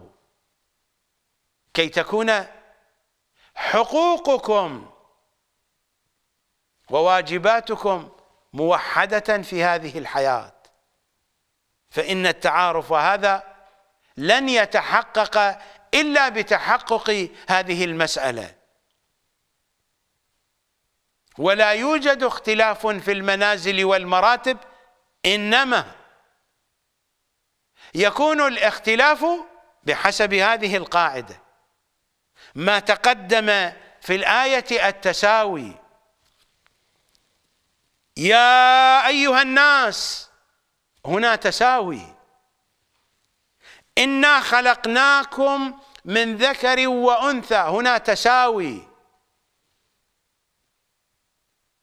وجعلناكم شعوبا وقبائل لتعارفوا هنا تساوي تساوي في التعارف. التمييز أين؟ إن أكرمكم عند الله أتقاكم. التمييز هنا هل هذا التمييز يختص بالذكور أم أن التمييز يختص بالإناث؟ هذا تمييز لا علاقة له لا بالذكور ولا بالإناث. هذا التمييز على أساس التقوى. والتقوى تتحقق في الإناث وتتحقق في الذكور. فتكون الأنثى هي الأكرم. حينما يتحقق معنى القاعدة فيها ويكون الذكر هو الأكرم حينما يتحقق معنى القاعدة فيه. إن الله عليم خبير. نذهب إلى فاصل. في سورة الروم إنها الآية الحادية والعشرون بعد البسملة والتي بعدها. ومن آياته أن خلق لكم من أنفسكم أزواجا. حينما يكون التعبير هكذا أن خلق لكم من أنفسكم أزواجا أين التمييز؟ هذا التعبير هو هو الذي ورد في الحديث عن رسول الله صلى الله عليه وآله سأعود إلى تلكم الآيات لأنني سأعود إلى هذا الموضوع كي أبحثه مفصلا. فمثلما تحدث القرآن عن أن رسول الله هو من أنفسنا من أنفس المؤمنين.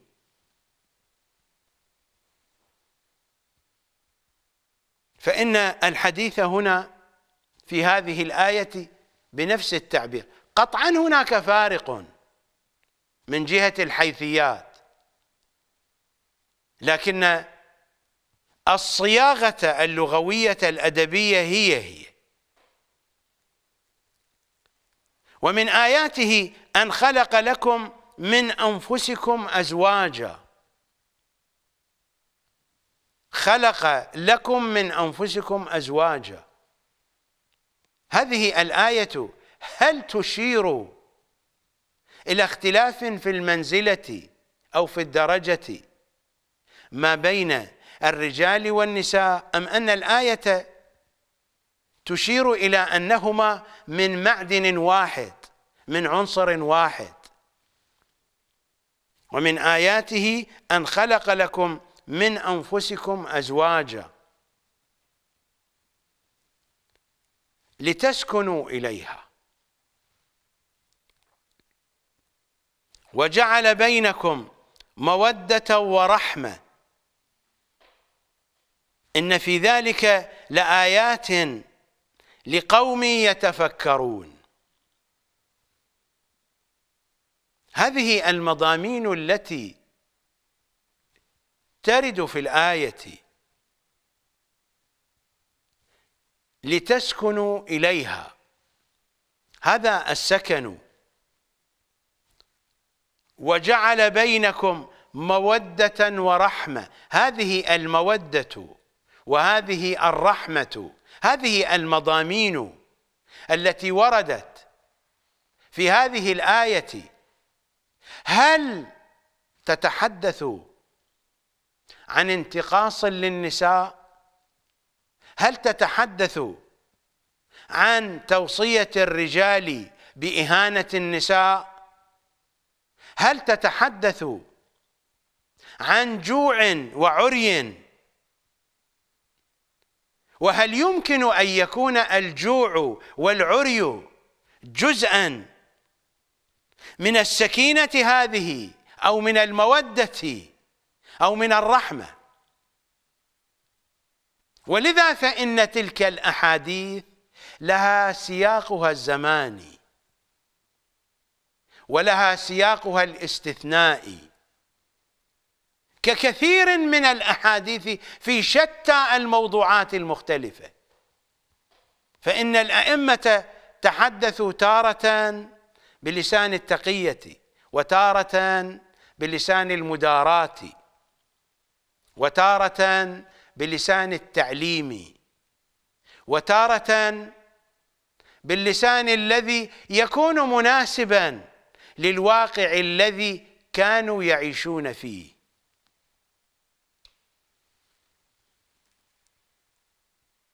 تدبروا في الآية وأطيلوا التدبر فيها.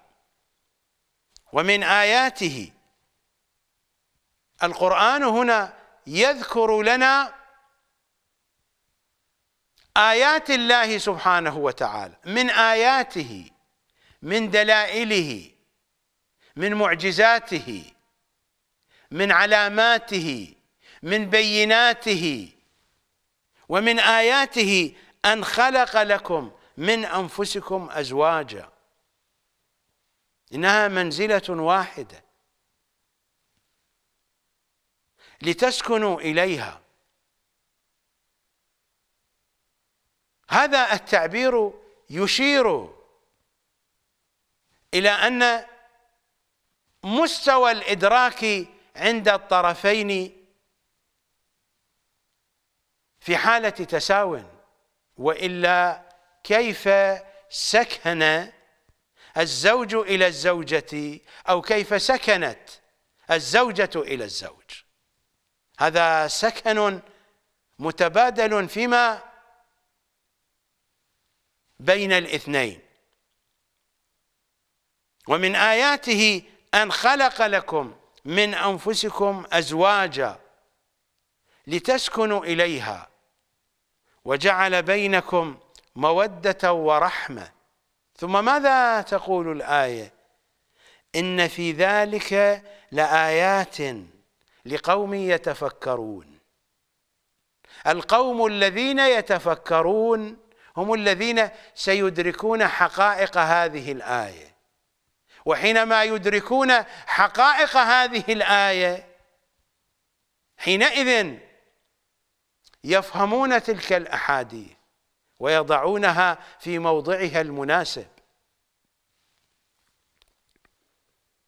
آخر الآية بحاجة للوقوف طويلا عنده إن في ذلك لآيات. لقوم يتفكرون. يتفكرون في التفاصيل التي تحدثت الآية عنها. ومن آياته أن خلق لكم من أنفسكم أزواجا لتسكنوا إليها وجعل بينكم مودة ورحمة. إن في ذلك لآيات لقوم يتفكرون. ومن آياته الآية التي بعدها ومن آياته خلق السماوات والأرض واختلاف ألسنتكم وألوانكم إن في ذلك لآيات للعالمين. رجعنا إلى العلم أيضا. إن في ذلك لآيات للعالمين. ومن آياته خلق السماوات والأرض واختلاف ألسنتكم وألوانكم. هذا الاختلاف في اللغات وهذا الاختلاف في الألوان. هل هو اختلاف في المنازل؟ أم هو اختلاف في مظاهر الخلق؟ الاختلاف في مظاهر الخلق لا يعني أن منازل المخلوقات قد اختلفت. فهل الذي بشرته بيضاء له منزلة أعلى من الذي بشرته سمراء؟ وهل الذي بشرته سمراء له منزلة أعلى من الذي بشرته صفراء؟ اختلاف الألوان واختلاف الألسنة اختلاف اللغات هذا مرده إلى الاختلاف في مظاهر الخلق. الاختلاف في مظاهر الخلق لا يجعل المخلوقات في مراتبها مختلفة. الحال هو هو فيما بين الذكور والإناث.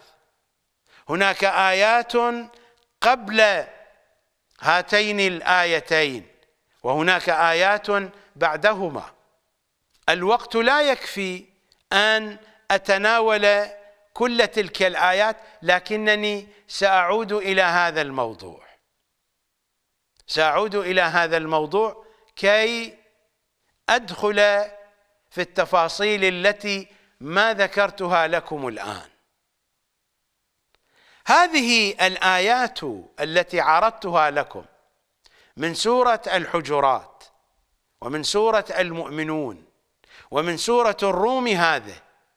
هذه الآيات بمجموعها تشكل أسسا فكرية وعلمية واضحة للرؤية القرآنية للفكرة القرآنية فيما يرتبط بالعلاقة بين الذكور والإناث.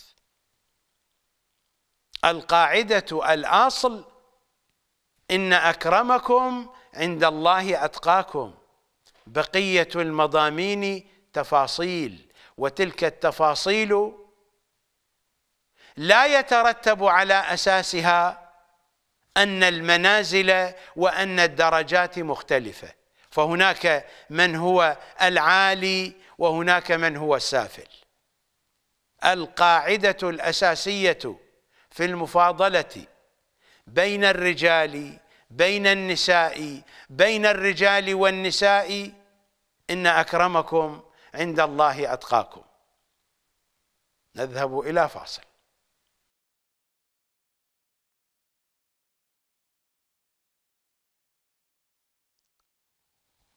تفاصيل ما جاء في الرسالة النسائية التي قرأتها عليكم في الحلقة الماضية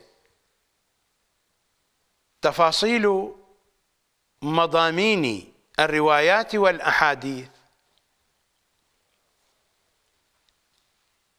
يمكننا أن نعرضها على منظومة آيات القرآن والتي سأبينها لكم في حلقة يوم غد وما بعدها. ما تم ذكره في حلقة يوم أمس. وفي هذه الحلقة هو ما يرتبط مباشرة بموضوع الرسالة المذكورة. برنامجنا كما تعلمون عن الجندر عنوانه حديث عن الجندر. وما جاء في الرسالة يرتبط بهذا الموضوع من جهة من الجهات. فلذا جعلت الحلقة الماضية والحلقة هذه بخصوص تلكم الرسالة. وكان البيان إجماليا في الحلقتين معا. لكننا بحاجة إلى موضوع يتناول هذا العنوان.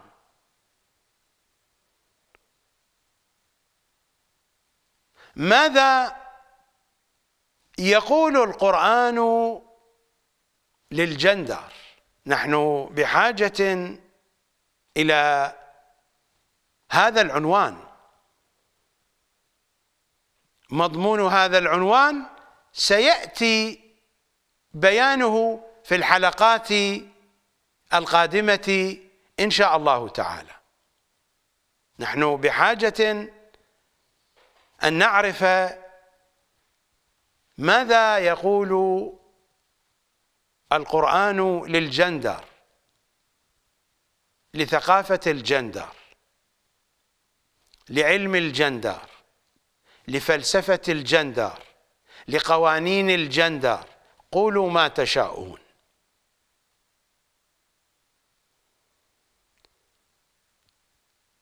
أختم حديثي بهذه الرواية. إنني أقرأ عليكم من الجزء الرابع من الكاف الشريف للكليني. وهذه طبعة دار التعارف للمطبوعات بيروت لبنان. الباب الحادي والأربعون باب سقي الماء. في الصفحة الثامنة والخمسين الحديث السادس بسنده بسند الكليني عن إمامنا الباقري صلوات الله وسلامه عليه. أتمنى أن تنصتوا إلى هذه الرواية الجميلة. إمامنا الباقر يقول إن الله تبارك وتعالى يحب إبراد الكبد الحرة الحرة التي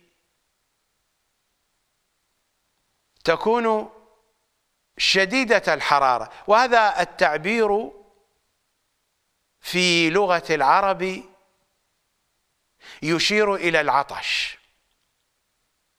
إلى العطش الشديد.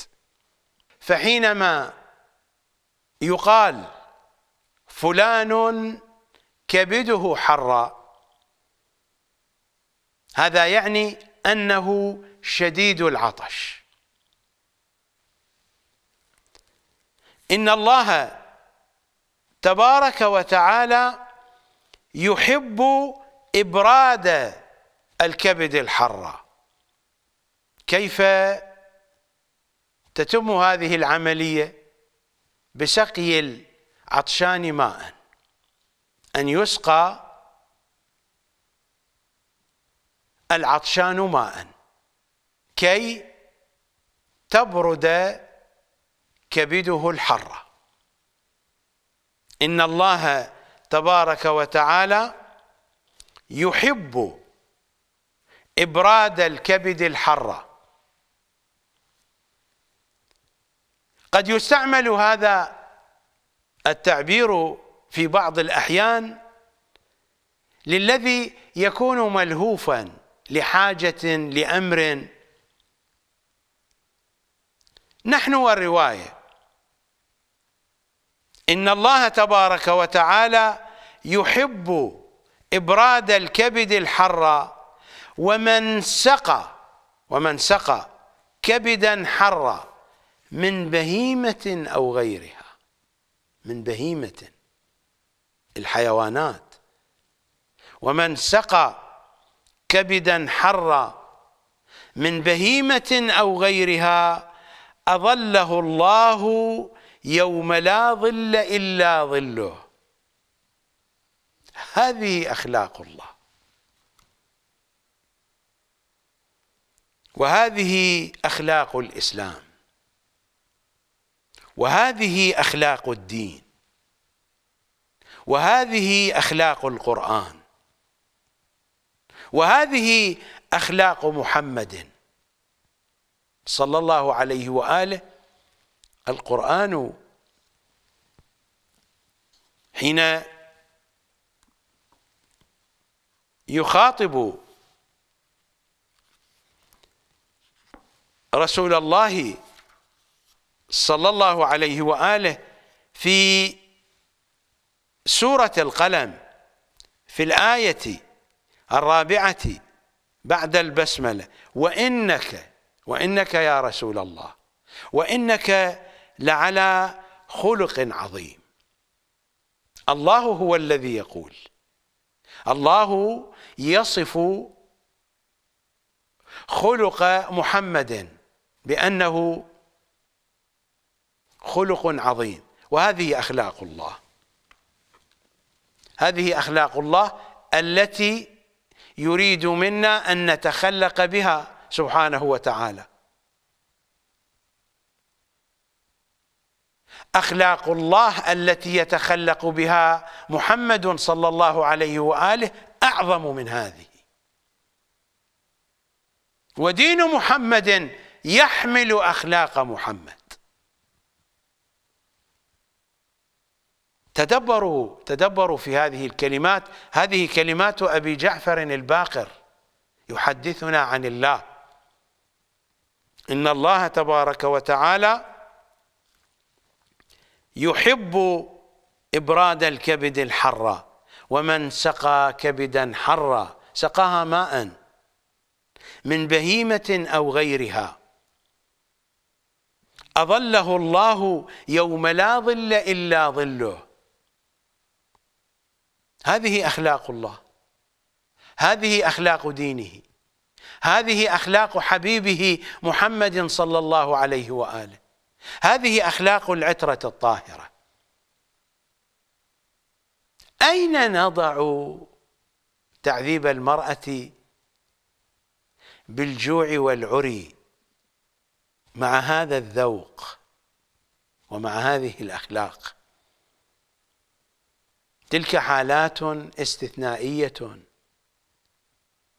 ذلك كلام صادر عن ثقافة في مقطع زماني معين. كل المضامين التي مرت في تلك الأحاديث بل في الأحاديث المتبقية التي لم تذكرها الرسالة وهي أشد وأقسى. ليست في السياق الأصيل لأخلاق الله. السياق الأصيل لأخلاق الله هو هذا. ومن سقى كبدا حرا من بهيمة من بهيمة أو غيرها اظله الله يوم لا ظل إلا ظله. هذا هو ديننا. وهذا هو قرآننا الذي كنت أقرأ عليكم من آياته ما قرأت وكان ذلك على سبيل الأمثلة والنماذج.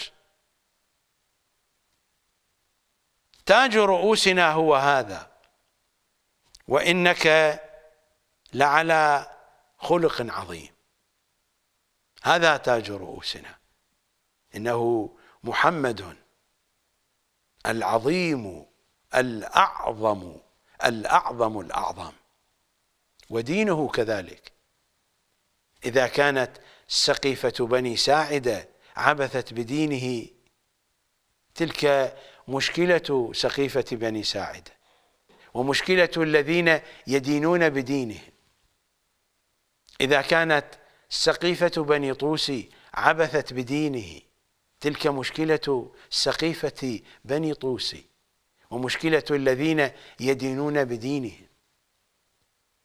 إذا كنتم تبحثون عن الحقيقة فابحثوا عن دين العترة الطاهرة. ومثلما بينت لكم في حلقة يوم أمس وفي هذه الحلقة أكرر كلامي من أن الأحاديث هذه وأمثالها في سائر الموضوعات الأخرى. في مختلف الموضوعات. إذا أردنا أن نفهمها بشكل صحيح علينا أن نطبق البرنامج الذي حدثتكم عنه أن نعتمد نظام المعاريض وأن يكون البناء العقائدي على أن مرحلة التنزيل قد نسخت. نسختها مرحلة التأويل منذ بيعة الغدير. ومن أن مرحلة التأويل تدريجية في البيان. ولذا فإن البيان متحرك بالضبط. مثلما يحدثنا أئمتنا عن قرآنهم. من أنه يجري مجرى الليل والنهار. النهار على مقاطع. حينما يبدأ النهار بطلوع الشمس الشمس تكون ضعيفة ثم تشتد شيئا فشيئا إلى وقت الزوال وبعد ذلك تبدأ بالضعف إلى وقت الأصيل إلى الغروب. الليل كذلك يبدأ بظلمة خفيفة. وشيئا فشيئا يشتد الظلام. ثم يأتي الفجر وهكذا. فالظلام على درجات. ظلام الليل. والنور نور النهار على درجات. ومجرى الشمس والقمر. الشمس كذلك تشرق وتغيب وما بين المشرق والمغيب. تشتد درجة ضيائها وتنخفض. والقمر كذلك حينما يتنقل في منازله فيبدأ هلالا وشيئا فشيئا حتى يكون بدرا ثم يبدأ بالتناقص. القرآن يجري مجرى الليل والنهار مجرى الشمس والقمر. آفاقه عديدة منازله كثيرة ظواهره متعددة بواطنه عميقة. هذا هو منهج العترة في فهم قرآنها والأمر هو هو يتعلق بالأحاديث والروايات. فإذا أردنا أن ندرك الحقائق علينا أن نتمسك بمنهج الحقائق. ومنهج الحقائق هو منهج العترة الطاهرة. صلوات الله وسلامه عليها في هذه المؤسسة في مؤسسة القمر للثقافة والإعلام آلينا على أنفسنا أن نقدم لطالبي الحقيقة ما نستطيع أن نقدمه من حقائق دين العترة وحقائق ثقافة العترة وحقائق معارف العترة قطعا مع قصورنا وتقصيرنا. وقت الحلقة انتهى نلتقي غدا إن شاء الله تعالى في عنوان جديد. أسألكم الدعاء جميعا في أمان الله.